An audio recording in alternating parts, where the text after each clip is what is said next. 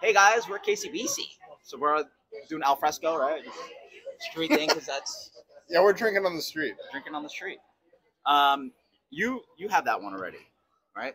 So we're we're, we're, we're reviewing a flight. This is Venomous Villains. Is that what you're drinking? Yeah. West Coast IPA. Let's go. Mm, Dank, that's dry, um, very lean. This is the modern West Coast, like lean. No crystal malt, right? Just lean, Yeah, lean, lean. it's not super malty. No, Um, dank, not super fruity, not very bitter either. no, it's pull pleasant. back, yeah. It's a pleasant kind of like a Crushable.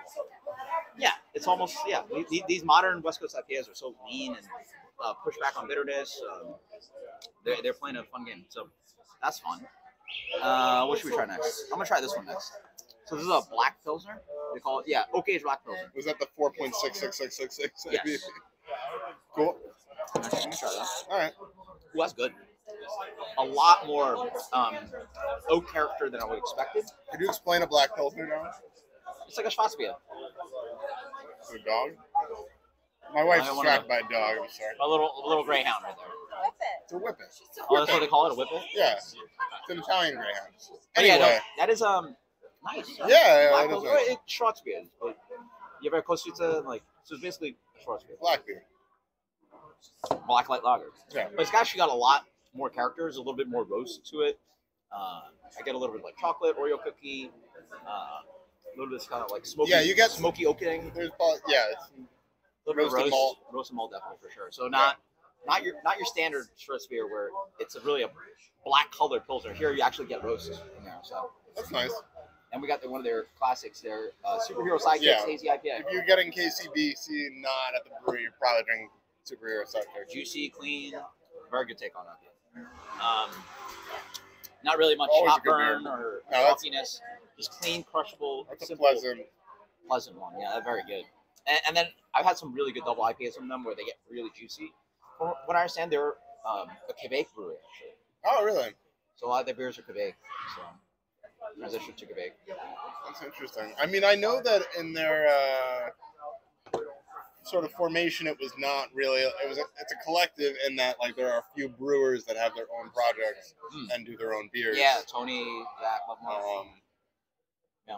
So I, I assume that's still how they run it. and then um, Beach Zombie is one of their popular beers. Yeah. This is Yacht Zombie. So, yeah, they do all, a ton of variants on the Beach Zombie thing. I actually like their sour beers. Mm-hmm. They make some. I at least when I left town, they made some of the best pilsners in town. This is a very good one.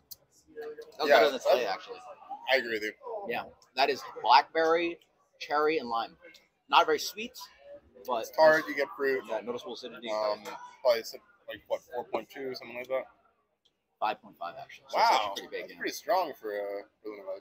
But it's nice. It's, it's a sort of it dances that line where it's like uh, super fruity. Because a lot of these are like slushy. So yeah, some of these are like almost um, what do you call them? Um, uh, sl- slushy sours or whatever you call them. You know the four four fifteen uh four fifty North stuff. And this is not as pulpy and rich, but it's got really nice forward fruit character. Um, Are we gonna give the brewery a number out of hundred? that's a good question actually. First off, this flight is killer. This is this, It's a good flight. between West West Coast IPA, Black Pilsner, and It's actually IPA, all sour. good. all good, all good. So this is like definitely like highly recommended. I, and I bet the rest of that menu is very good too. I've had a lot of that menu. It is good. Yeah, KCBC crushing it. So I don't know if we have a rating, but I'll, I'll give them an A. You've been A. For- If you're in Bushwick, an A. That's, yes. a, that's an A right there. If you're in Bushwick That's and you want to drink flight. beer, come here. There you go.